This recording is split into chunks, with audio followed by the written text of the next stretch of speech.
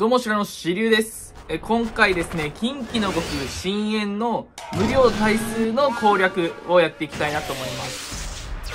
で初手はこんな感じで斜めに打って、剣と盾を取りつつ、雑魚を全部処理するっていう形になってます。で、ここ剣と盾を必ず取らないと、あの、片方だけ、剣だけしか取らないと、あの、次のターン盾だけとかになっちゃうんで、必ず盾と剣を両方取るようにしましょう。で次ここのワープなんですけど内側から入ることによって、えーそのまま中ボスに対して中の方向から出てくるのでカンカンできるって形になってます。こんな感じで中から入って内から入って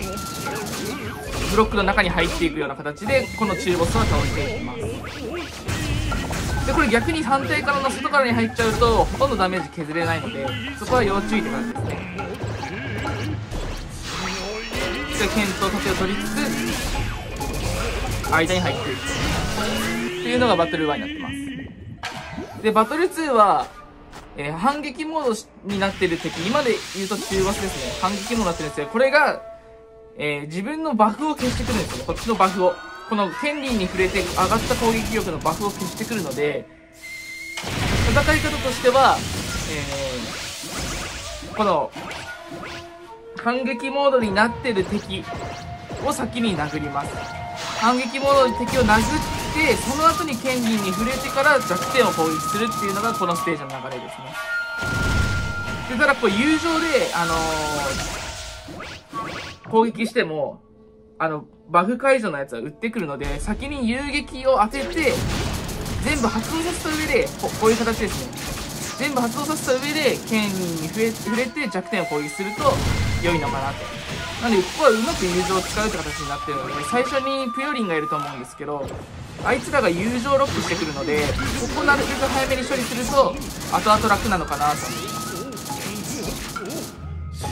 でここは弱点を通らないとほぼほぼダメージ削れないのでとにかく権利に触れて弱点を通るような、えー位置を描けるように打つことですね。で決して優勝が取らないわけではないので優勝もしっかりうまく使いながらやっていっていいと思います。で次バトル3ですね。ここは、えーレーザーバリアついてるやつが、えー相互蘇生になっています。なんで左上、えー左下と右上ですね。と左上と右下のところが相互蘇生になりますこんな感じですね今左下と右上倒してますでこのハトホール下の方の敵は貫通が止まるので必ず反射パネルで入れ替わって必ず反射の状態で攻撃するようになりますでクロスドクロを発動させるとこうやって弾と、えー中ボスのところの間に弱点どっちかに来るのでここを間に挟まれに行くっていう形。になってます挟まれないとこんな感じでダメージはほとんど削れないですね。ただどのステージにも共通しているのは友情通るのでただ次のステージだけ友情が通らないんでここは友情が通るので友情もうまく利用しつつといういう風にはなります。ただもう挟まって倒していかないともう単数的に無理なので挟まるっていうところを意識してください。ただ左側に出て左側の位置にいるとなかなかはまりづらいんですよね。なんで斜めに打ってぐるっと回ってはまるみたいなイメージがいいかなと思いますでここはまるとすごくスムーズに倒せるのでで今回ちょっと僕苦戦しちゃってるんですけどここはもうハマると本当雑魚処理した多分34ターンで突破できるのでとにかくしっかりハマりに行くこと。もしアクアマリン使ってる方は初手にあの雑魚処理した後に打って弱点2個出すのもちょっとおすすめなのかな。まあ溜まってればの話ですよねまあ、こんな感じギリギリですけど突破する。まあ本当は間に挟まって倒していくっていうのがいいかなと思います。でここですね。まずここすると、えーここもレーザーバリア同士が、えー同時処理同時相互蘇生ですね。になってます。なのでさっきみたいに、えー縦同士のスルトを倒すと反射になってはまることをお勧めしますでこのクロスドクロが発動すると、えーブロックが出ますね上の方。まああとこのこれが敵が指さ雑魚が指さでこれはキャノンベースでボスを削っていくことになります。ただキャノンベースは近い敵に行くのでこの弾と、えー、上の方の雑魚に関しては透明化させる必要があるのでまあ友情とか友情でもあの透明化するのでこんな感じで攻撃を当てれば透明化するのであとは上でキャノンベースを踏みまくって弱点そのまま行くので、えー、ここはキャノンベースのみで倒していくような形になります。でここボスが回復をしてくる中ボスが回復もしてくるのであのもう削るときは思いっきり削っていかないと中途半端に削って23ターンゆっくりしてると全回復してしまうんでここも思ったよりターンは少ないのかなと思います。これはこうやって上にはまっていくこと上上の方でカンカンしていくことですね。ここで友情をうまく発動させてこのキャノンベースを全部ボスに当てていく。そうすると大体半分近く削れていくので、まあ、こんな感じで倒していくと。でバトル5ここをですねコンテナにコンテナに触れつつエレメントエリアに触れてエレメントエリア内でえー、ゾンビを倒すと。でここ難しいのが2体ともあの相互蘇生なのでここ2体同時処理が必要。なんでコンテナに触れてエレメントエリアに触れるっていう往復していく形になっています。こんな感じで往復していくことになるんですけど今さっきのダルカニャンは、エレメントエリア内で攻撃してなくても倒したのはまあ地雷を持っているっていうところとあとコンテナに触れている。あとは強化しているところですね。あの紋章だったりとかワクワクの実で強化しているっていうところもある。と思いますでゾンビを2体倒すとこういうこういう盤面になるのであとはコンテナに触れてエレメントエリア内で弱点を倒す。なんで下のエレメントエリア内やったら右側の弱点みあすいません下の下の方の弱点に触れる。とで上の弱点はあの上の方のエレメントエリアに触れて触れておいて範囲内ギリ入るギリ入ることになってるんで。でここも思ったよりターン短いです。なんでゾンビのそゾンビに対してゾンビの同時処理ですね。ここが難しい方はもしパックとか持ってる方はパック打っていいと思います。ここが苦手な方はですね。僕は比較的ここそこまで苦手ではなかったのでまあああいう形でちょっと角度つけ目に弾くとただこの左側のシールドがあると思うんですけどここに触れてあのコンテナのコンテナの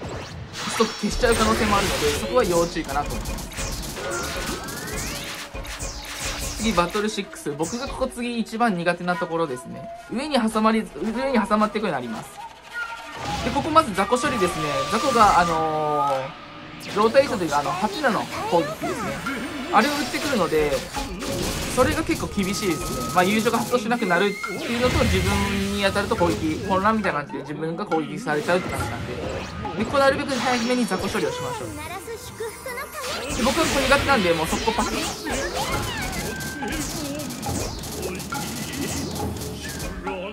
ここは雑魚処理した後ただここはあのボスだけ集中したらいいってわけじゃなくて雑魚もあの蘇生するので、えー、そこは要注意かなと思います。なので基本的にはさっき縦縦目に打ったように今はちょっとさっき入らなかったんですけど反射になって縦に縦目に打って反射になってあの上壁と弱点でカンカンするって形になります。これです。ねこうやって弱点とカンカンする。でこれ1回入るだけでこんぐらい結構ダメージ持っていけるんでここはしっかり狙っていきたいところところでありますね。でここ蘇生するんでここしっかりこうやって倒しましょう。蘇生されたらすぐ倒すまあ2体以内ですね。2体以内に雑魚を全部処理しましょう。で雑魚がいる間はしっかり雑魚を処理することを優先して。でここもですねすごいやっぱ時間がないですね。もう雑魚蘇生したと思ったらもうほんと23ターンで即死なんで。で僕はここ苦手だって言ったんでもうここはあの僕 SS ガンガン使ってます。ただ SS 使ったからといっていいわけではなくてやっぱハマってから攻撃殴る方がダメージは明らかに取ってるんで必ずハマりに行くことをお勧めします。ただこうどうしてもハマれないなっていう時とかは僕はもう SS っていいかなと思います。弱点大きいですねこんな感じで。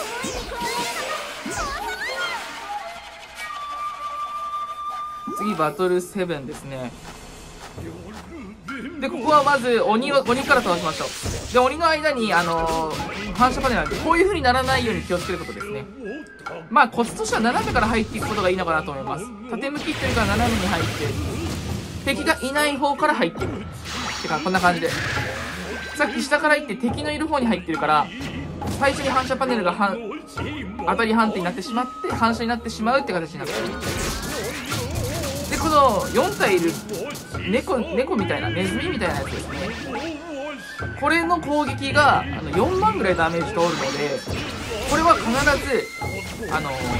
ダメージを与えるというか必ず攻撃が来ないようにしっかり処理をしていきます。でこんな感じで1回触れるだけでここはあの攻撃自体はあの回避できるのでまあなんか1体のキャラであの2ターンに1回ハマりに行くみたいな感じになっていくと思いますまあ、ちょっとあの長考してたんでこっからたびたびちょっとあの早送り来ると思うんですけどこんな感じであのまずは攻撃が来ないように。これ4万食らうんで11レーサーなんですけど4万食らう。んこれ2体でも当たっちゃうともう即死なんでほぼほぼ即死になっちゃうんで気をつけましょう。でこの倒し方としては最初誰かに挟挟まったみたいに壁とボスの間で挟まる。反射になって挟まるっていう戦い方になってます。で、ここは確実に、えー、十字レーザーを処理しないと、あの、ダメージは大きいので、ただ、ボスももうこれ即死なんですよね。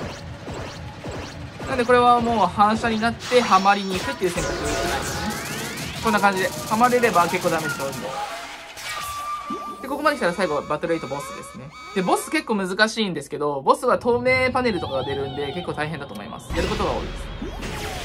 す。まずは、剣輪に触れて、ぷよを倒す。で、このぷよのドクロが、えー、弱点効果アップなので、必ず初ターンでぷよを倒すことをお勧めします。でただ、ぷよは確実なの剣に触れてからぷよを殴らないといけないので、剣輪に触れてぷよを倒すっていう風になってます。で、ドクロを発動させると、これなんで、ボスと、えー、鬼にドクロマあ弱点効果アップですからね。で、これ、鬼の左上の5ですね。この5が来るまでに倒せれば鬼は問題ないです。ここまでは即死じゃないので。あの5が即死なので、ここまでに倒せたら問題ない。なんで、もしあの、ボスの方が今削りやすいなって思う時は、ボス優先してもいいと思います。ただ、もしプヨが余ってた場合ですね、さっき2体同時処理したんですけど、プヨがもし、あ、さっき処理1体したんですけど、あの、プヨが余ってる場合、プヨの攻撃で弱点のあの、効果アップなんで、効果ダウンしてくるんで、そうなるとダメージ通らなくなるので、プヨは確実に処理していくこと。で、プヨは蘇生されるんで。で、ここも権利に触れて、プヨを倒して弱点効果という形になってます。一回透明パネルの位置というか、透明パネル何回踏んだら実体化するとか、ここすごく冷静になって考えてもいいのかなと。でこんな感じで権利に触れてボスに攻撃するだけでこんだけダメージ削れるので。しっかり落ち着いていくことですね。で今プヨ倒せてなかったのでこんな感じで弱点が効果ダウンしますね。でここはしっかりプヨを確実に倒してプヨを倒さないとダメージほぼ通らないんで。あ、こんな感じでプヨリンを倒して弱点効果で鬼も処理しちゃってるんでこうなればあとはボスだけをひたすら殴っていくっていう感じになってます。でこうなってもあと4ターンなんでまあうまくあの透明パネルとかもただこの剣に触れながらとながら攻撃しないと、えー、攻撃力が上がらないんでしっかり剣に触れて攻撃していくと。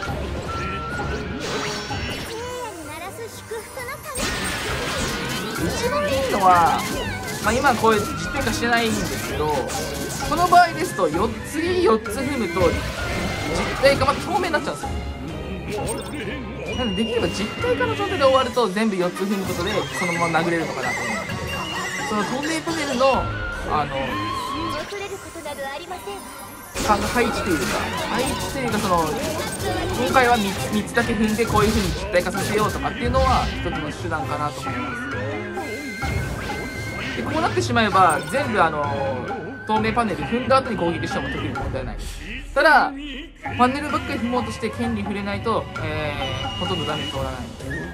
権利には必ず先に触れる。権利に一度でも1体でもいいので1体でも触れて攻撃していくっていう形になります。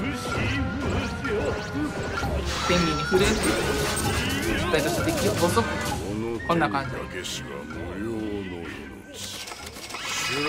結構ムス選手としてはこういろんな近畿の攻略が混ざったみたいなステージになってると思うので、一つ一つ丁寧にあのやっていけばいいのかなと思います。ぜひこういう打ち方とか参考になったと思った人はぜひチャンネル登録と高評価の方お願いします。では次回の動画でお会いしましょう。バイバイ。